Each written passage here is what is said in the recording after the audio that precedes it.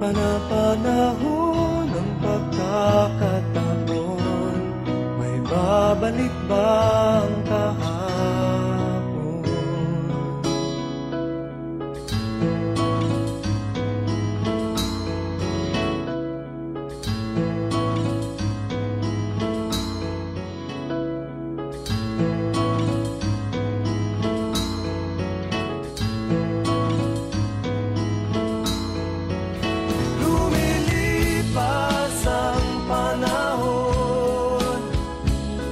kabiyak ng ating kulita ang mga puno at halaman bakit kailangang lumisan?